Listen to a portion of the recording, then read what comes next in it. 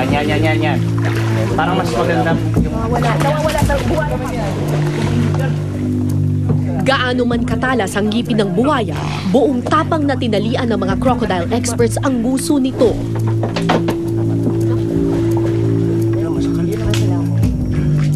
Kung maliit lang ang buwaya, kaya sana namin itong hilahin para matalian. Pero sadyang malaki at mabigat ang buwayang katapat. Dito ka, para makalapit ako dyan. Ayun ang katawan niyo. Ayun yung paa niya, oh. Na, kung nakikita ninyo yan, yung kanyang paa, doon sa ibaba, Ilaw, ah. Ilaw sa paa. yan yung kanyang lower right. Medyo malaki yung width niya. oh.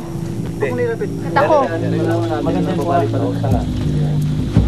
pag, na, Bawalong batalaw yan. Pag mula doon sa bangka, nakikita mo na yung laki niya, pero from from this point of view, ang laki-laki talaga nitong buhayang to. Mga ilang feet ang tansya mo dito? Tingin ko 12. Pasok siya ng Pasok to ng 12 12. 12 feet. feet. Hanggang buntot na yon. Bagamat nakakatakot ang kanilang bangis, mabilis ding mawala ng lakas ang buwaya. Kaya pagkalipas ng ilang minuto, kumalma rin ito. So sa ngayon, makikita mo at rest yung buwaya kahit nahawakan ko siya dito. Hindi siya, ay! Hindi siya gumagalaw. At saka, hindi siya pumapalag. Bakit ganun siya ngayon, Rainier? At saka, kailan siya magre-regain ng strength niya? Kanina, ma'am, yung buhaya mabilis din mapagod. Tapos yung pag, pagpagod niya, siguro mga after mga 3 hours bago niya may recover Pero hindi pa siya ganun kalakas. Isa lang ang ibig sabihin nito. Dapat maibiyahin na namin patungo sa lupa ang buhaya. Ang problema, masyadong malaki ang buhaya para sa aming bangka. Ipunin niya yung lakas niya para Pag nakakita ng liwanag. liwanag. Kasi kailangan niya pumasok ulit. Bumalik na ako sa bangka bago pa ako abutan ng muling paglakas ng buhaya. Alas 6 ng umaga nang dumating ang rescue boat mula sa barangay. Okay, okay. Po. Pinagtulungang buhati ng buhaya papunta sa bangka. Ang problema sa sobrang laki ng buhaya, halos hindi ito magkasya sa aming bangka. Gulok, gulok. Gulok, gulok, gulok.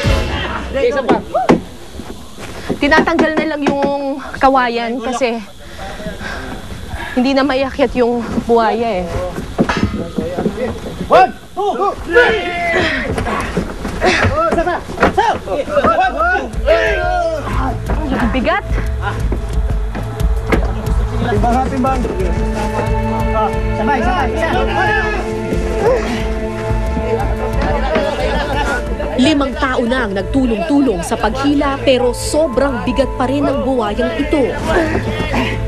Yung paa, yung paa, sumabit yung paa. Tinatayang 400 to 600 kilos ang bigat nito.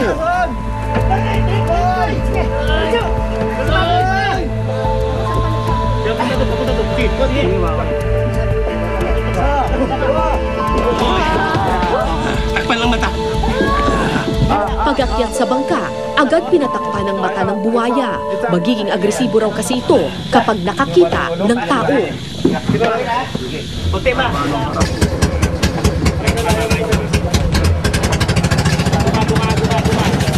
Sa laki ng buwaya, halos dito magkasya sa bangka. Wala kaming magawa kundi umupo sa tabi mismo nito. Panatag naman ang biyahe nung una, pero makalipas ang ilang minuto,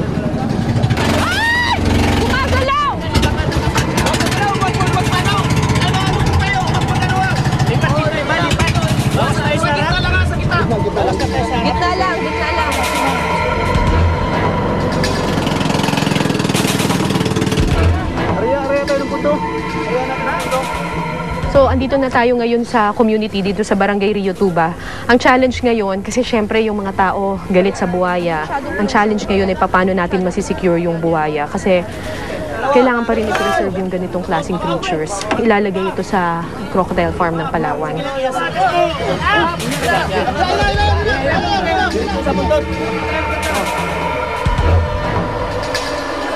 Isang pulutong ng tao ang sumalubong sa amin sa komunidad. Lahat gustong makalapit sa nahuling buwaya. Di ba kalabas? Balik, balik, balik, balik. Balik na muna. Babagsak to. Sa sobrang dami ng tao, nasira ang tulay na kanilang kinatatayuan.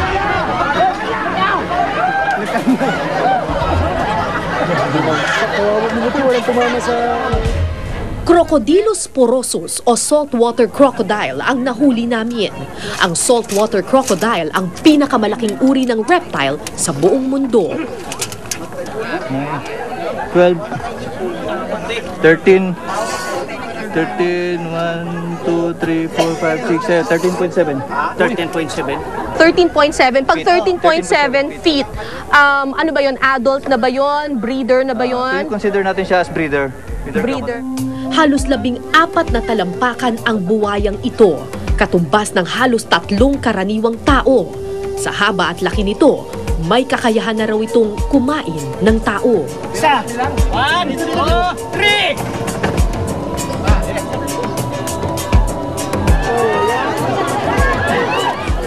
Ilang oras na lang alam naming babalik na ang lakas ng buwaya. Kung kaya nagmadali kaming isakay ito sa truck para ilayo sa mga tao. Tabi po! Kawayan!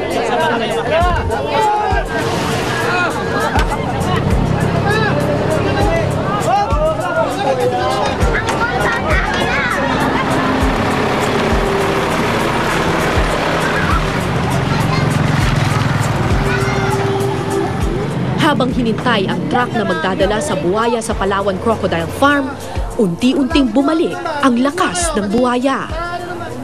Alas 8. Kasi alas 5 natin nakuha yung crocodile doon sa Bakawan.